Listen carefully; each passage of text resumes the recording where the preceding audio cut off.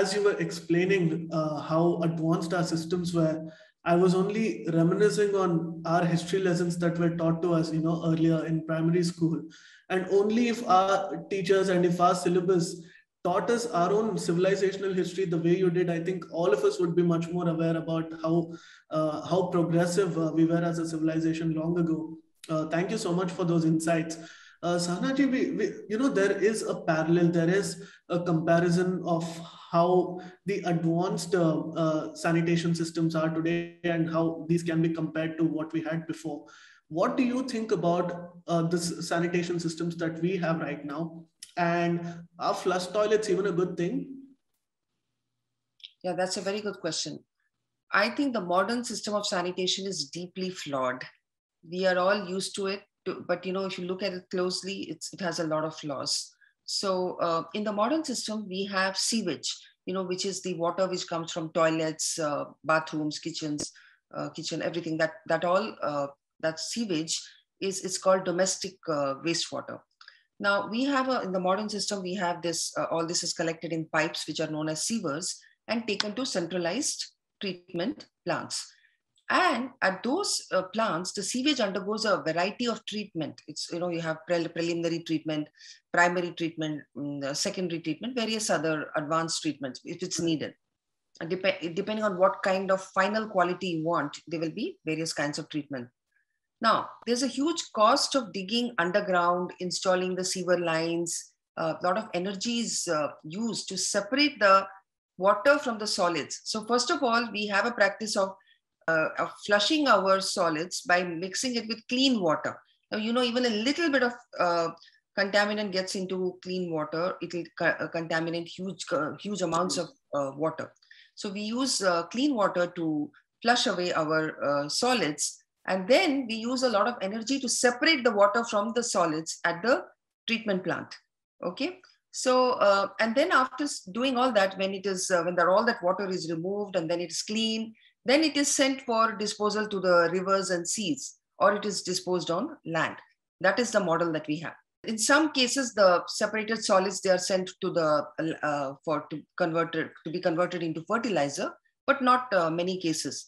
Uh, so now, unfortunately, in many places around the world, due to the huge cost, the the sewers don't exist or the wastewater treatment plants don't exist, uh, or they function improperly, and the the flushed uh, uh, wastewater and the other wastewater from the houses, they go straight into nature. They go into uh, they go into rivers and seas. They destroy the aquatic life and they spread hmm. disease. So if you followed my arguments, when uh, clean water is provided to a community, it ironically leads to more uh, pollution because they're using uh, the used water is not managed properly and it is released into into nature and released into the places where humans will come into contact with it. So this is the problem with the modern system. Uh, India treats only about 30% of its sewage. So you can, you can imagine where 70% of the sewage is going. It is going back into our drinking water, into our uh, groundwater, our wells. The, uh, even in high uh, income countries, they treat only about 70% of their uh, okay. of the sewage. Now, so the Western style uh, uh, uh toilet, the WC, has proved detrimental to plants and animals. So we, we flush the toilet, we don't care where it goes, and then it goes and causes, uh, the wastewater causes havoc wherever it goes. Unless you have uh, you know, a lot of money and you've built a very excellent treatment plant, uh, plant and other um, you know, accessories, and you ensure that nothing goes back into the community unless it's properly treated. So you always need big financing to, to have sewers and uh, treatment plants. This is one thing. And the other important thing is the aspect of uh, losing nutrients. So, you know, uh, when we have our food, we, we get our nutrients from food. And the nutrients come from the soil. It has taken all that from the soil.